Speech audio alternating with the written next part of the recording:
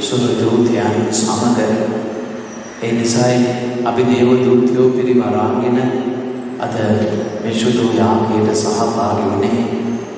අපේ මියගිය ඒ දෙමව්පියෝ දරුවෝ සහෝදර සහෝදරියෝ යාළ මිත්‍රාදීන් එක්කාසු කරගෙන සංකේතවත් කරමින් දේව දූතයෙක් එක්ක අපි ආවිදී අවස්ථානය තුළට ඒ වගේම අපි අද විශේෂයෙන් යාඥා කරනවා. ජීවත් වෙලා ඉන්න අය වෙනුවෙන් අවුන්න මේ මහා දුක කඳුලක් එකතු වෙන දවසක්. ඒ වගේම ජීවිතයේ යථාර්ථය අනෙක් පැත්තට අපට අවබෝධ කර දෙන අවස්ථාවක්. ඒ වගේම අපි මේසමක් විදියට මේ හැමෝටම කියනවා අපි එක පවුලක් ඔබේ වේදනාව ඔබේ දුක මගේ වේදනාව මගේ දුකයි. ඒ කාසු කරගෙන ස්වාමීන් වහන්සේට කන්නඩාව කරන විට අප උන්වහන්සේ අනුගමනය කරමින් අනුකරණය කරමින් උන්වහන්සේගේ වචනය අදහා ගනිමින් යන මේ ගමනේදී අපි කියනවා උන්වහන්සේට උන්වහන්සේ කියනවා යුක්තිය සහ පිපාසවන් අපි ඒ යුක්තිය සහ ධර්මත්වය වෙනුවෙන් අඬලා ගන්නේ. අපිට ඕන අපි ගාව තියෙන බොහොම පිරිසිදු චේතනාව කවුද මේක කළේ? මෙන්න සම්බන්ධ කවුද? ඔවුන්ගේ අරමුණ උනේ කුමක්ද? ඔවුන් ඉලක්කයන් සංසිඳව ගන්නට මේ ස්ථානය සහ අනෙකුත් ස්ථාන තෝරගන්නට හේතු උනේ කොයි කොයි කාරණා කවුද මේ දේවල් වලට අවුරුදු සහයෝගය දැක්වේ? ඒ වගේම and what impact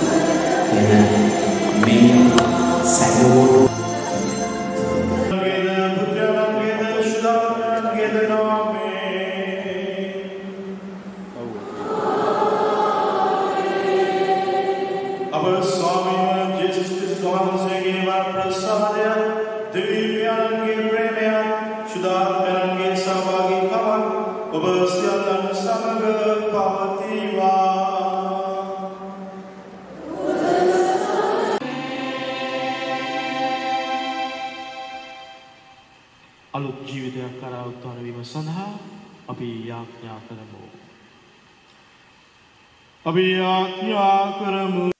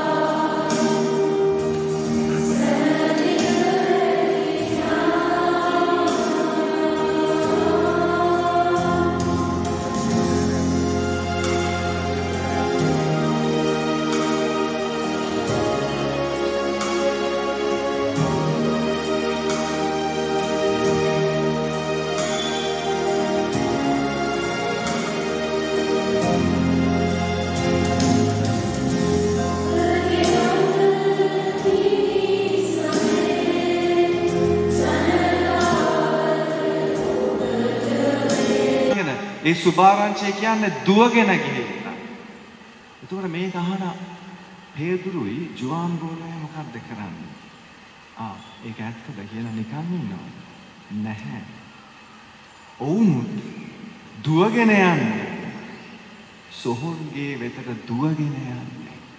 එතන පොඩි කම්පිටිෂන් එකක් තියෙනවා මේ ජුවාම් ඉස්සල්ලා දුවනවා පේදුරුට ඉස්සල්ලා. මොකද සුභාරංචිය කියන දේ දැනගන්න ඕනේ, උත්තානය දකින්න ඕනේ. ඊට පස්සේ ඔවුන් මේක දකිනවා. හරි ලස්සනයි මේ සුවිශේෂ පාඩය. එකල සොහොන්ගේ ළඟට පළමුවෙන් පැමිණි ඒ අනික් ගෝලයාද ඇතුළට ගොස් දැක විශ්වාස කළේ. දැකලයි විශ්වාස කරන්නේ. මේක මනුෂ්‍ය අවශ්‍යතාවයක්.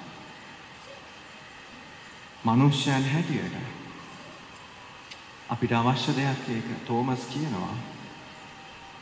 මාගේ ඇඟිල්ල උන්වහන්සේගේ උන්වහන්සේ ස්පර්ශ කරේ නැත්තම් මට විශ්වාස කරන්න බෑ. මම උන්වහන්සේව අල්ලන්න ඕනේ. එහෙම නැත්තම් මට විශ්වාස කරන්න බෑ මේක. ජේසු එක දෙනවා. තෝමස් මම ඉන්නවා. මාව ස්පර්ශ කරන්න. විශ්වාස කරන්න. ජේසු ඒ මනුෂ්‍ය අවශ්‍යතාවය ඉෂ්ට කරනවා. ඔවුන් දැකලා විශ්වාස කරා. ප්‍රියාදර සහෝදර සහෝදරින්. ඒක නිසා අද ඔබ මේ දේවස්ථානට ඇවිල්ලා තියෙන්නේ ක්‍රිස්තුස් වහන්සේ උත්තාන වුණා කියලා දැකලා විශ්වාස කරන්න. නැතුව කවුරුත් කියපු දෙයක් අහලා විශ්වාස කරන්න නෙමෙයි. කොහොමද අපි ක්‍රිස්තුස් වහන්සේ උත්තාන වුණා කියලා දකින්නේ? ඒ තමයි අපේ විශ්වාසය. විශ්වාසය ඇසින් දකින්න. ක්‍රිස්තුස් වහන්සේ උත්තාන වුණේ නැත්තම් මේ පාස්කු ප්‍රහාරයෙන් පස්සේ මේ පල්ලි හිස් වෙන්න ඕනේ.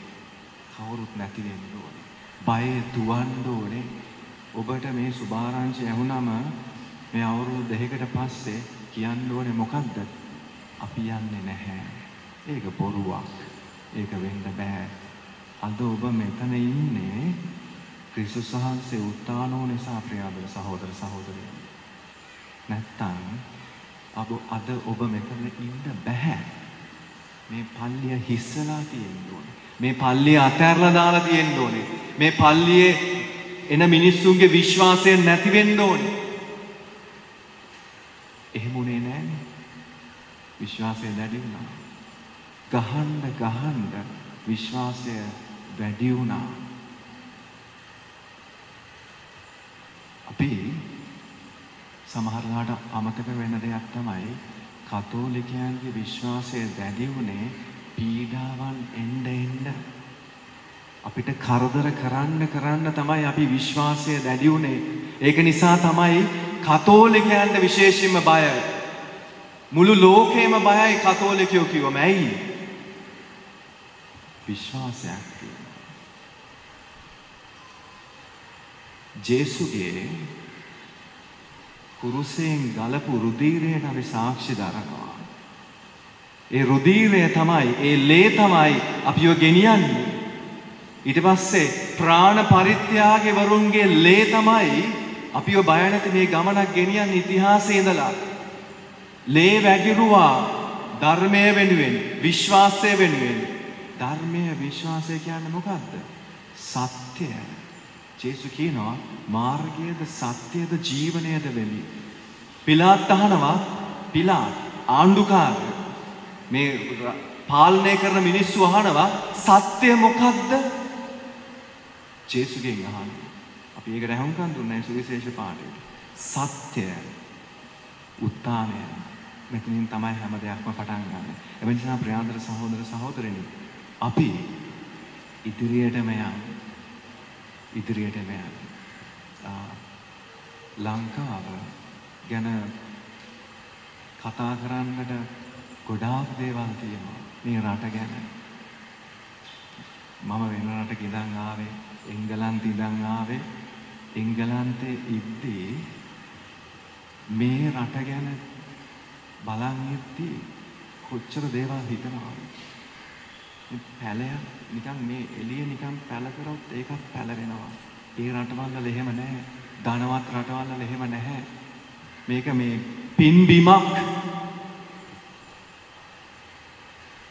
ඒ රටවල් වල මෙහෙම ජීවත් වෙන්න බෑ.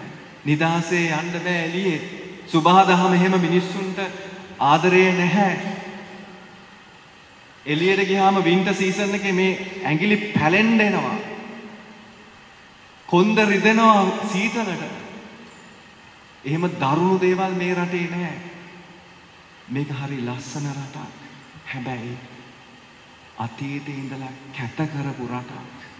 මේ රට පාලනය කරපු හැම කෙනෙක්ම මේ දෙයට වග කියන්න ඕනේ. මේ රට පාලනය කරපු හැම කෙනෙක්ම මේ රට නැති කරා. ඒගොල්ලෝ පාලනය කරන්නේ නැතුව නිකන් හිටියානම් නිකන් හිටියානම් මුකුත් කරන්නේ නැතුව නිකන් හිටියානම් අද ගහක් හරි පැලවෙනවා ප්‍රියාදර සහෝදර සහෝදරියෝ. ගහක් හරි පැලවෙනවා. අද ගහකටවත් පැලවෙන්න බෑ මේ පාලනය කරන අය නිසා. හැබැයි මේ පාස්කු ප්‍රහාරය වැරදුණු තැන ඒ හැමෝටම වැරදුණු තැන අවුරුදු 30ක් යුද්ධයෙන් ජීවත් වුණා. අවුරුදු 30ක්. යුද්ධය ඉවර කරාට පස්සේ තව මොකක් හරි ඕනේ මේ රට දුවවන්න මේ රට පාලනය කරන්න ભેද කරන්න ඕනේ. මේ රට පාලනය කරන්න විවිධ දේවල් ගේන්න ඕනේ. ආගම් වශයෙන් බෙදන්න ඕනේ ජාතීන් වශයෙන් බෙදන්න ඕනේ. ප්‍රියාදර සහෝදර සහෝදරයනි අපි හරියට හැදු හිතුවොත් හොඳට ඇස් දෙක ඇරලා බැලුවොත් මේ රට පාලනය කරපු හැම කෙනෙක්ම හොඳට ජීවත් වුණා. කිසි කරදරයක් නැහැ.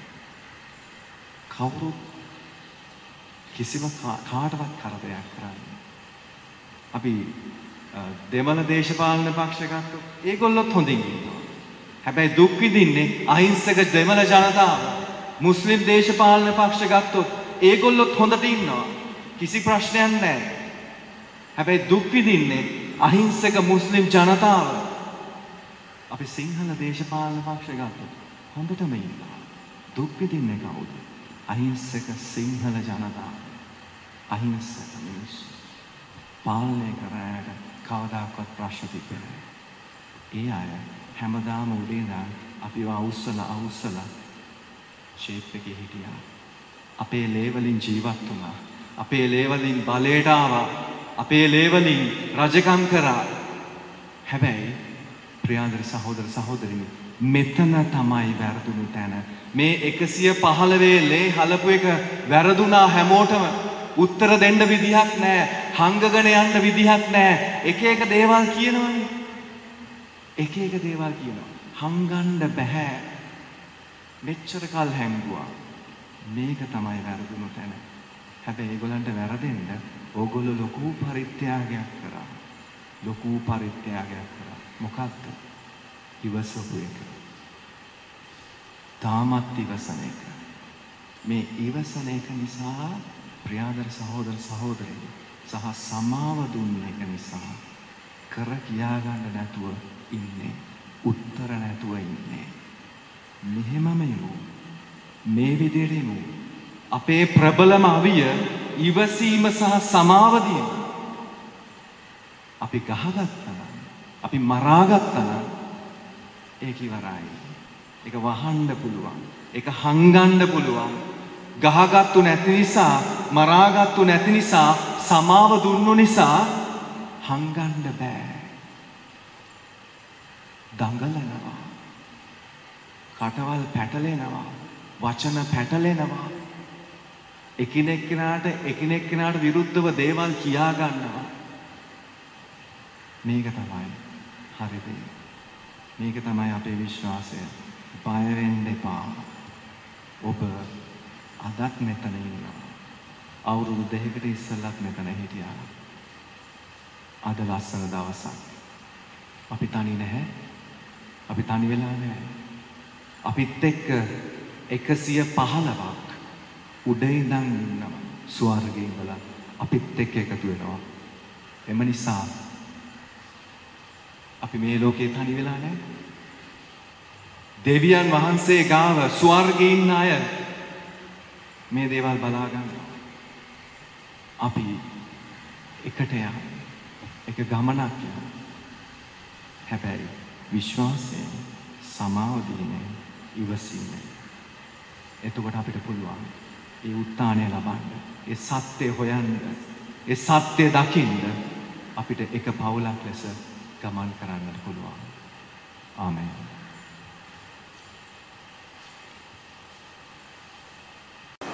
Senhor, Jesus, Senhor,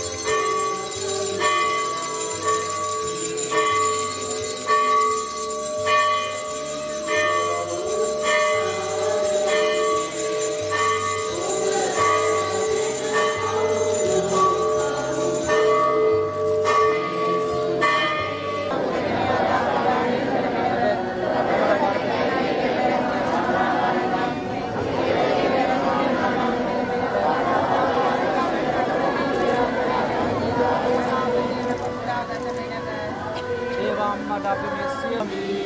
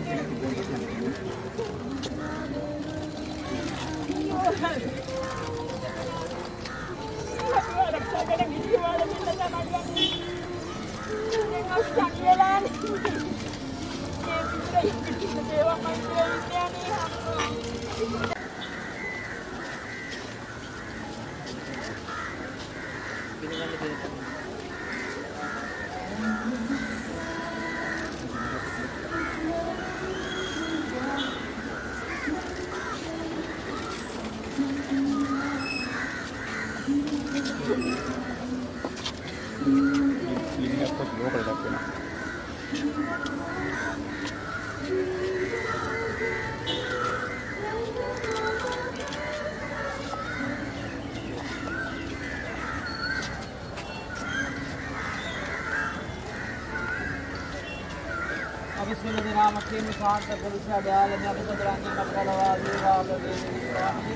İştahat ihtiyacı Memnuniyet. Ödeyi geçmeyi dair.